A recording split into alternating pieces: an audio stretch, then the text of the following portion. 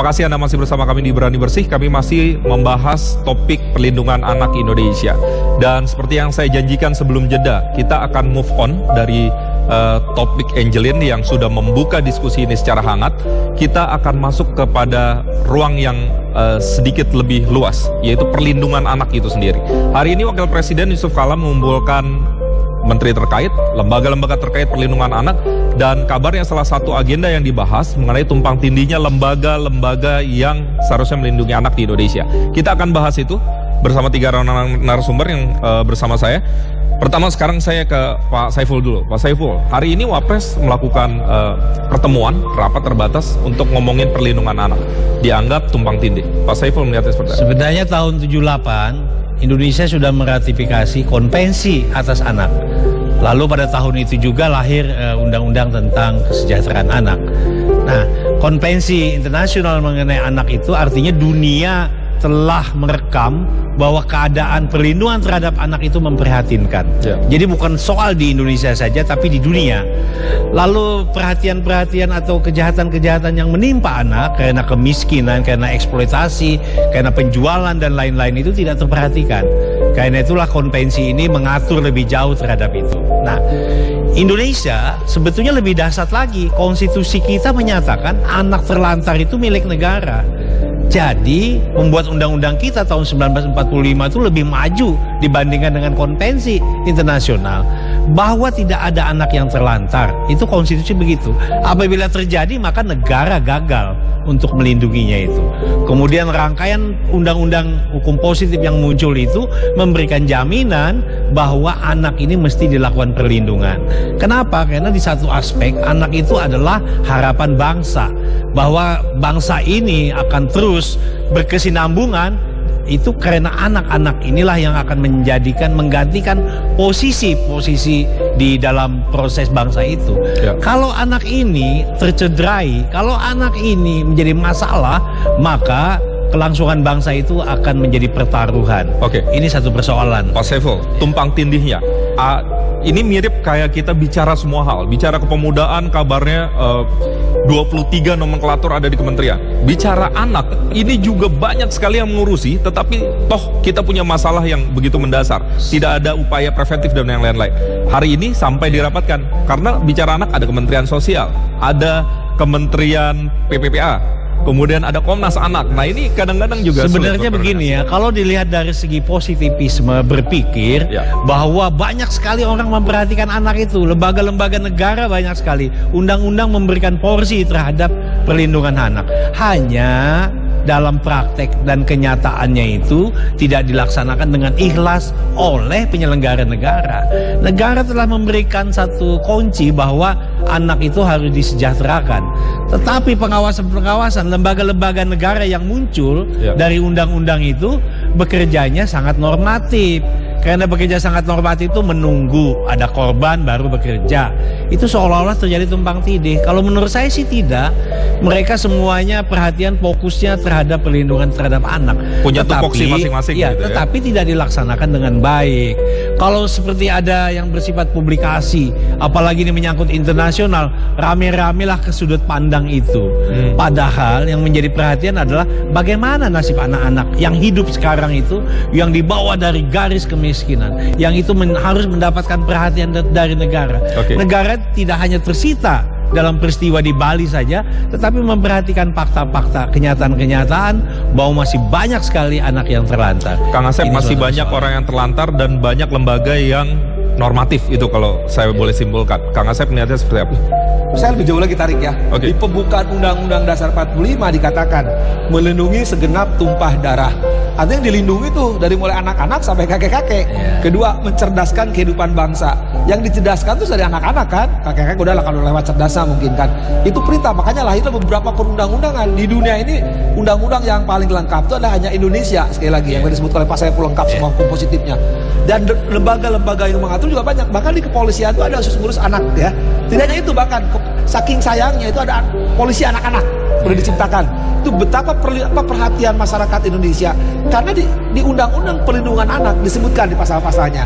Negara, pemerintah, masyarakat wajib untuk ikut serta dalam perlindungan anak. Jadi ketika ada lembaga-lembaga tadi memperhatikan untuk kepentingan anak, nah masalahnya apa? Bukan ego sektoral atau lintas tadi. Ini justru karena kebersamaan itu perintah pembukaan, perintah konstitusi harus bersama-sama.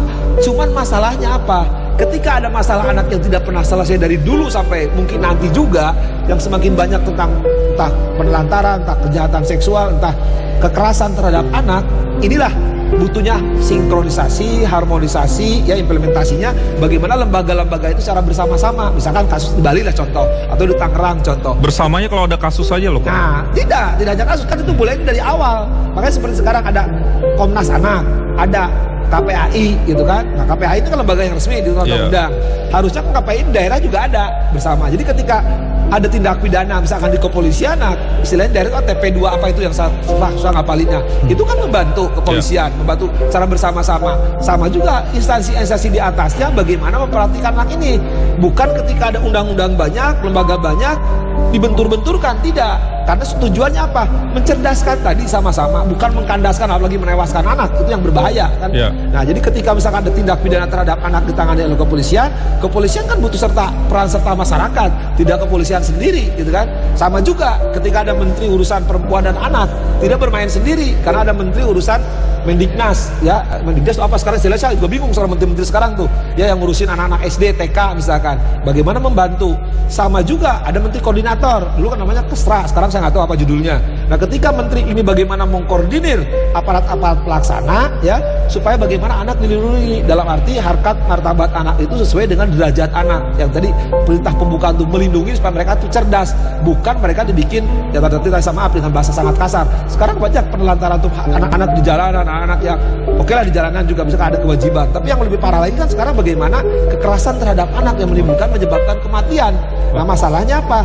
Sekarang ketika anak menyebabkan anak meninggal ini jangan sampai ketika ini rame semua bicara instansi menekan kepolisian supaya cepat cepat cepat. Padahal yeah. polisi juga dibebani untuk bagaimana mencari bukti jangan sampai nanti kandas di pengadilan. Nah, tapi kembali lagi ke persoalan awal. Saya pikir dengan banyaknya undang-undang, banyaknya lembaga, yang penting mereka sinkron, mereka harmonisasi, mereka berkoordinasi, tidak tidak mencari panggung sendirilah. Oke. Ini bukan dalam kerangka reshuffle, bukan? Enggak bercanda-bercanda kan. Gini, reshuffle itu hak presiden, cuman kalau kalau menterinya nanti tidak mengurusin anak-anak ya juga memang perlu direshuffle lah. Oh, Oke. Okay. Baik, saya ingin ke Pak Heri. Pak Heri berkaca dari kasus uh, Angelin, apa yang dilakukan Polri ke depan untuk melakukan upaya-upaya preventif sehingga tidak ada lagi Angelin kedua, ketiga dan seterusnya. Silakan Pak. Uh, baik, uh, jadi memang kita juga mempunyai saat ini sudah dalam struktur kepolisian khususnya di penyidik. kita juga sudah mempunyai PPA unit PPA yaitu penyidik uh, perempuan dan anak. Ini juga upaya kita untuk melakukan kegiatan-kegiatan uh, penyidikan khususnya uh, biasanya dalam kekerasan rumah tangga dan sebagainya Kemudian yang kedua, kita juga uh, berdasarkan eh, kegiatan-kegiatan uh, untuk melindungi masyarakat, untuk mengayomi dan sebagainya. Kemudian uh, kita juga melaksanakan upaya-upaya untuk mendekatkan diri kepada anak-anak.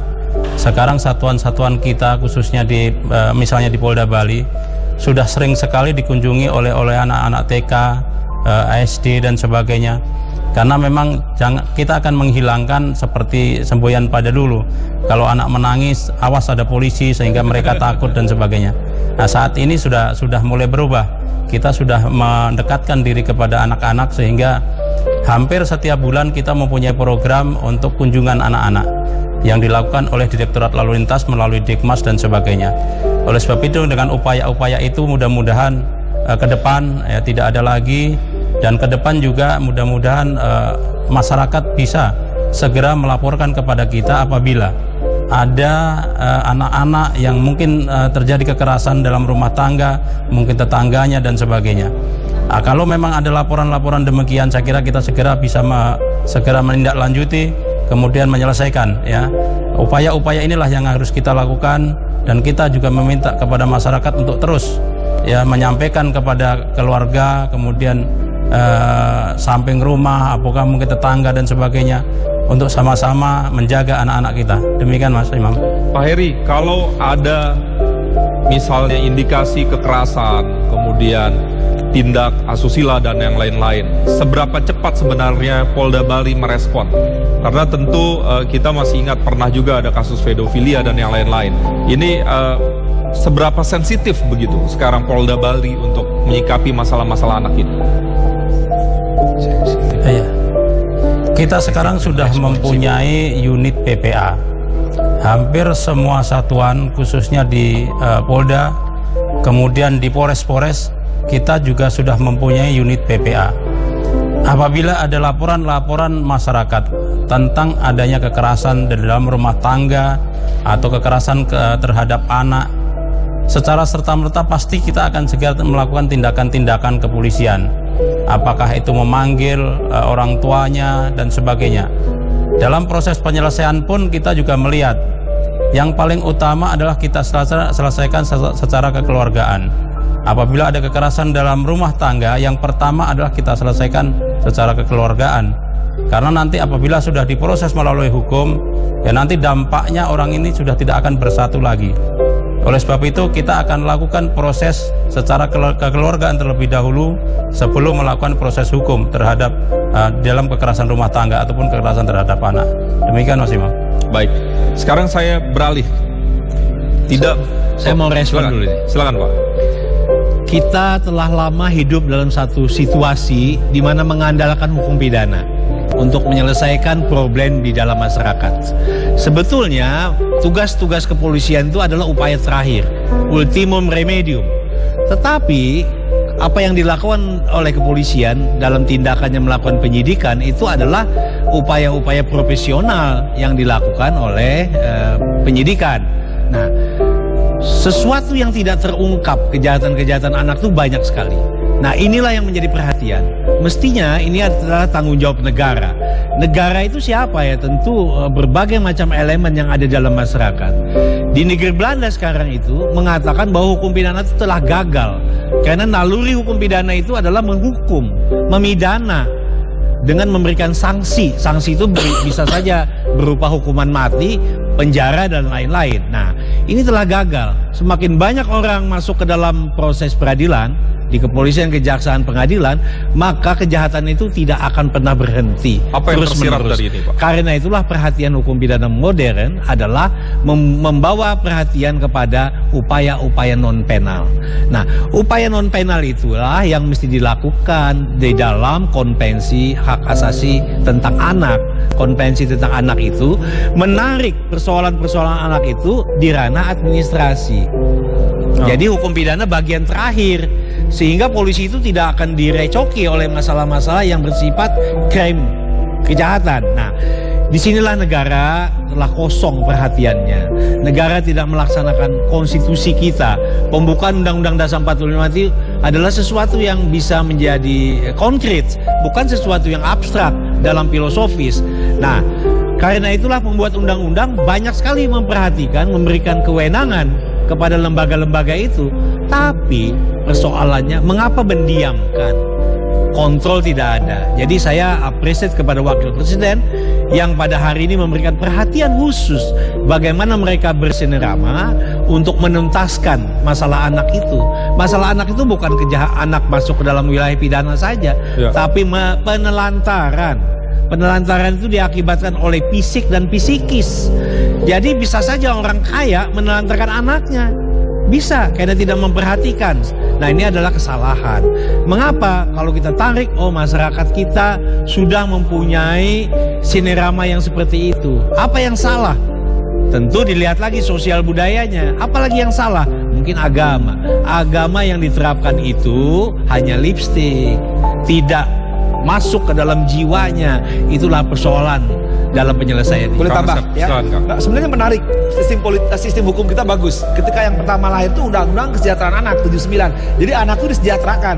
Terakhir kita punya undang-undang kan? Yeah. 11 2012 sistem peradilan anak. Yeah, nah tadi dikatakan betul bahwa di sistem peradilan anak itu supaya anak tidak jadi masalah adanya keadilan restoratif. Yeah. ya supaya diselesaikan jangan ke tanah pengadilan lah selesaikan dulu itu diversi. Yeah. itu bagus sekali kok. Hukum kita sekarang ketika aturan-aturan itu bagus ya yang jadi masalah apa? Komitmen. Kita untuk melaksanakan undang-undang itu entah lupa yang bikin undang-undang atau saya nggak tahu mereka. Kita kembali tadi ya. Fakta yang paling gampang sekarang adanya pembiaran pembiaran misalkan kita lihat yang paling gampang lah yang contoh yang menarik sekarang kan anak ini. Orang menghilangkan nyawa itu ya. Bisa karena emosional bisa irasional bisa rasional bisa kondisional. Itu fakta tapi kalau hukum tidak lihat itu bagi hukum siapa pun yang menghilangkan nyawa bisa kena 340 bisa 338 351 359 atau undang-undang lain bisa undang lalu lintas menyebabkan mati. Tapi tadi persoalannya kalau pelakunya anak bermasalah hukum supaya diselesaikan dengan keadilan restoratif atau diversi. Tapi lain kedua kalau persoalannya yang menyebabkan anak tadi terlantarnya atau kematian untuk orang dewasa berlakulah tadi bukan untuk pelindungan anak. Anaknya dilindungi supaya ini tidak diulang kejadian di Bali kejadian Tangerang atau kejadian Cibubur atau kejadian daerah-daerah lain. Artinya apa? Bahwa anak itu mendapat perhatian apa khusus di kita ini istimewa undang-undang yang mengatur baik di, di pembukaan maupun dari bagaimana penyusunan. Saya juga begitu perhatikan peraturan undang-undang anak betapa hebat ya yang mengatur undang-undang. Cuma sekembali lagi ketika ada persoalan anak tadi menyebabkan meninggal menyebabkan terlantar baik apa psikis atau psikis tadi ya karena transaksi-transaksi tertentu akibat akibat tertentu. Masalahnya apa? Kita ini ributnya setengah mati semua. Ribut dorong penegak hukum supaya hukum mati supaya diberi hukum seberatnya. Tapi tidak tidak memperhatikan pencegahannya yeah. sebabnya. Misalnya dari awal proses adopsi misalnya. Nah sekarang gini. Adopsi itu di Undang-Undang Kesejahteraan Anak, di Undang-Undang Administrasi, Administrasi Kependudukan, di Undang-Undang Perlindungan Anak. Bahkan saya kasih tahu, itu pasal-pasalnya kayak copy paste diulang, ya. Bisa pasal jelas di Undang-Undang Perlindungan Anak, di Undang-Undang Administrasi bahkan di Undang Statut 1917 dan 29 yang berlaku untuk Tiongkok. Itu dijelaskan bahwa pengangkatan anak itu demi tumbuh kembang kepentingan anak itu sendiri dengan segala persyaratannya. Cuman sekarang pengangkatan anak itu jadi komoditas. Artinya begini, Ketika ada orang tidak sanggup, pada itu negara wajib tadi untuk ada atau hadir. tidak sanggup hadir di situ. Negara itu wajib ketika orang tidak itu disebut undang perlindungan anak jelas tegas wajib negara hadir. Nah sekarang apa? Ketika orang tidak mampu dijual tanda petik atau di tempat yayasan tertentu. Yayasan tertentu juga menjual karena ada orang luar, orang dalam. Entah itu memang betul-betul untuk kepentingan benar demi tumbuh kembang. Ada juga kan komunitas tadi entah untuk praktek tertentu atau untuk organ-organ diambil tertentu atau juga bakal lebih parah sekarang trafficking penjualan anak-anak ya. Lebih parah lagi bisa ada lingkungan sendiri ya, kita, kita sudah mengatur KDRT ya. Bukan Kris Dayanti Temos tapi ke, kekerasan dalam rumah tangga. Yeah. itu yang sering terjadi. Nah tadi betul ya. Selalu ujungnya kalau telah terjadi bukan dilihat sebabnya di awal kenapa anak dilindungi sejak awal ujungnya selalu orang ribut itu apa ini perlu ditindak, ini perlu disanksi. Padahal tidak hanya itu. Kalau untuk anak dulu jelas. Kalau bisa jangan sampai ke pengadilan. Selesaikan kembali keadaan semula. Istilah diversi tadi restoratif. Tapi kalau pelakunya memang yang lain, berlakulah KUHP. Penghilangan nyawa. Kalau nyawa, tapi kalau luka juga ada. Nah, orang sekarang sibuk di situ bermain. Tapi sekali lagi mungkin negara wajib hadir ketika aturan undang-undang sudah jelas bagaimana komitmen melaksanakan peraturan perundang-undangan ini supaya jangan diulang minimal lah meminimalisir tidak terulang lagi persoalan-persoalan anak itu akan muncul muncul gitu. Nanti kalau persoalan muncul anak-anak ya kayak di Senayan banyak anak-anak itu. Oke. Okay. Mas Saiful, Pak Aris Merdeka Sirait dalam statementnya bilang bahwa Undang-Undang 35 2014 padahal masih 2014 tuh sudah juga dianggap dianggap tumpul atau uh, mandul misalnya. Uh, apakah ini juga momentum yang tepat merevisi undang-undang? Tadi Kang Asep juga bilang banyak undang-undang kita copy paste itu kan mengkhawatirkan. Pak Saiful. Jadi jangan disalahkan legislator atau pembentuk undang-undang yang tertinggal. Saya pikir tidak.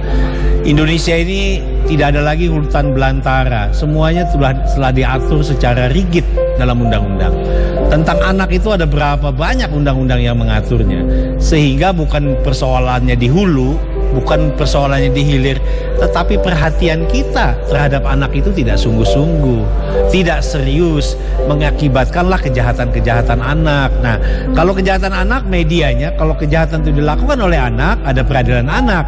Ini sudah sangat luar biasa, sangat modern undang-undang itu. Memperlakukan restoratif justice yang di dalam hukum pidana tidak dikenal, tetapi hanya di dalam peradilan anak itu sudah dikenal. Di Persi itu menyelesaikan tidak dibawa ke ranah proses lebih lanjut, tidak dibawa ke pengadilan. Ini luar biasa dasarnya, ya. Nah, tetapi kalau menyalahkan uh, instrumen dari perundang-undangan saya kira tidak, karena apa pun undang-undang itu tidak sempurnanya karena bikinan manusia, tetapi kalau penyelenggaranya bagus melaksanakan, saya kira tidak bisa kita lihat undang-undang itu tidak Kang sempurna. setuju? Ya. Oh ya tepat, saya sangat tepat sekali kan. Sistem itu harus simultan, komprehensif, ya sinergi. Nah ketika undang, sekali lagi di undang-undang peran anak kita bersyukur ya. Sak, tanda petik ya, walaupun itu buatan manusia tadi Pak Saiful katakan, kita termasuk yang lengkap lah yang untuk anak-anak.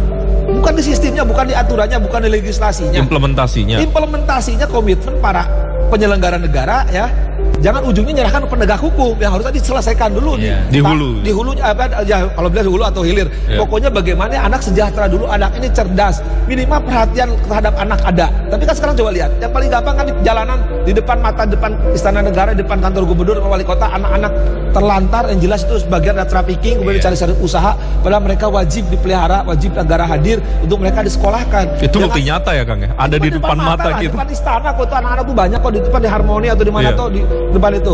Nah, ketika kalau anak-anak itu dipelihara negara ada perhatian dari masyarakat, ya karena ada masa apalagi negara itu perintah undang-undang loh, perintah konstitusi juga, perintah pembukaan juga. Kalau ini sudah dilakukan setidak-tidaknya ada koordinasi tadi entah menteri sosialnya, entah menteri urusan wanitanya, entah menteri urusan pendidikannya atau siapa pun karena perintah undang-undang negara, pemerintah dan masyarakat. Ini sama-sama memperhatikan setidak-tidaknya meminimalisir ya kejahatan terhadap anak. Okay. Tapi yang lebih penting lagi, tak tadi jangan sampai anak melakukan kejahatan, anak bermasalah hukum. Kalau anak bermasalah dengan hukum, ya aturan-aturan juga sudah menentukan, tapi jangan salahkan anak. Yang hmm. salahnya bapaknya anak-anak dan ibunya anak-anak yang salah. Oke, okay. uh. saya ingin ke Pak Heri. Pak Heri tadi juga disinggung oleh Pak Saiful mengenai uh, ruang sosial kita yang mungkin sekarang berubah.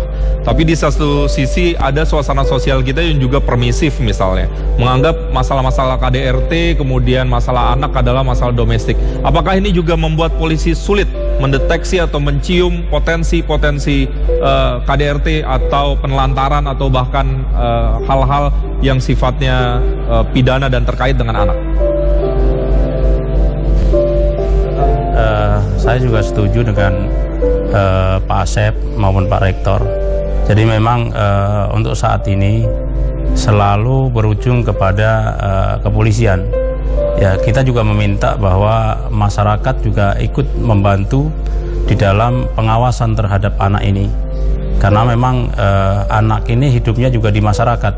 Sehingga kadang-kadang kita hanya mendapatkan setelah ya anak-anak itu terjadi kekerasan misalnya kemudian melapor kepada kita ya memang kita uh, tidak cukup kalau untuk mengawasi seluruh uh, wilayah yang ada di misalnya di Bali di Bali lah.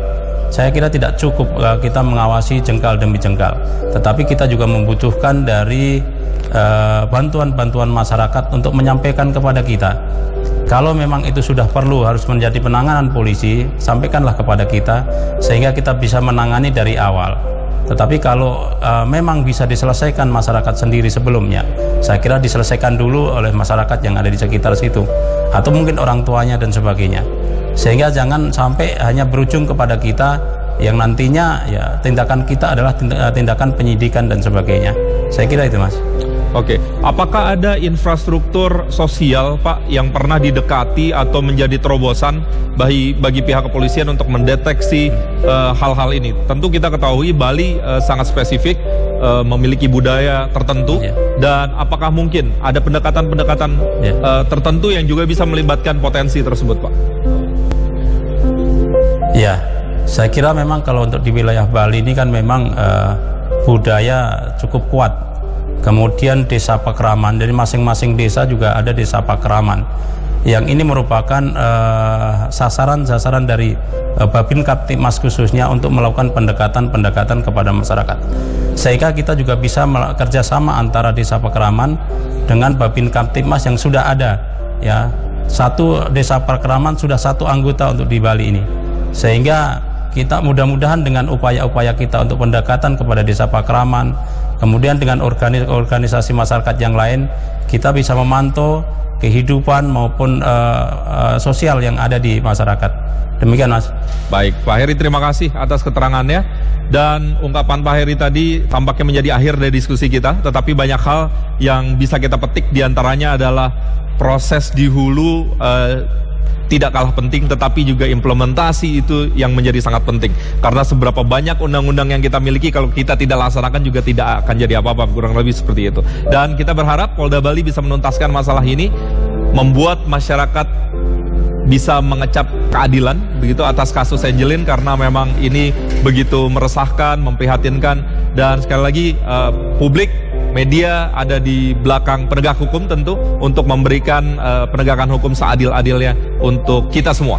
Dan sekali lagi terima kasih Pak Kombes Polisi Heri Wianto, Kabit Humas Polda Bali, kemudian Kang Asep Iwan Iriawan, kemudian Pak Saiful Bahri SHMA. Terima kasih sudah bergabung bersama kami di Berani Bersih.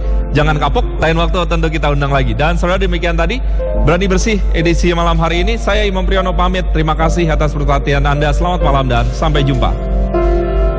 Tadi saya lupa ngasih tahu.